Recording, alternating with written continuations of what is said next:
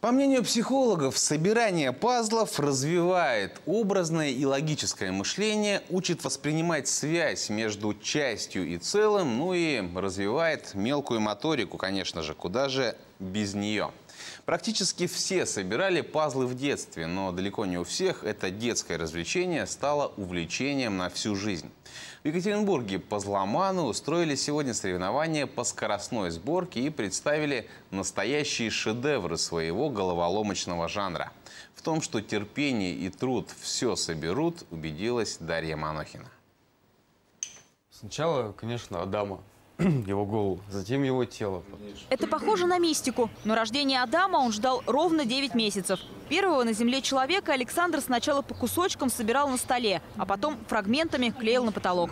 Теперь фреска Микеланджело у него над головой, а Пазломан перебирает в руках фрагменты шедевра уже другого итальянского живописца. Свой первый пазл психолог Александр купил 4 года назад в подарок любимой. Тысячу фрагментов тогда, вспоминает, еле сошлись, а он больше не смог остановиться. Сейчас собирает картины из десятков тысяч кусочков и хорошо усвоил. Сложным рисунок делает не основной сюжет, а фон. Как правило, он почти однотонный. Сначала отсортировать рамочку краешки. Затем отсортировать их по цвету. Желтую в одну сторону, зеленую в другую сторону. Краешки определены, рамочка. И вокруг этой рамочки вся эта картина собирается. А, первая картина «Незнакомка», а вторая, э, собственно, репродукция «Всадницы».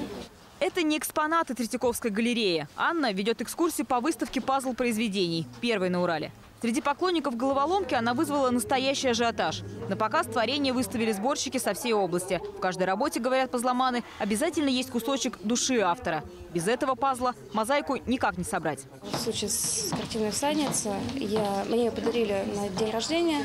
Я ее не смогла собрать, я отказалась от нее. Потому что, ну, во-первых, мне не нравился сюжет. То есть, когда ты собираешь картинку, которая тебе как-то близка по духу, ты хочешь ее собрать, ты хочешь довести это до конца.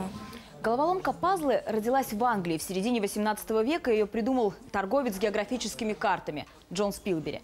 Разрезая цельные карты на отдельные детали, он старался в первую очередь для школьников, чтобы география стала им интересней. Ведь куда занимательнее на уроках не просто изучать изображение Земли, а собирать его по кусочкам. Сегодня пазлы, пожалуй, самая популярная головоломка. Во всем мире, в том числе и в России, ежегодно проходят чемпионаты по скоростной сборке. Одинаковые по сложности пазлы команды должны собрать как можно быстрее. Что за глаза? Вот куда их? Мне кажется, вот эти усищи где-то. У студента Леши за спиной сложнейшие пейзажи и автомобили. Но их он собирал дома, не торопясь.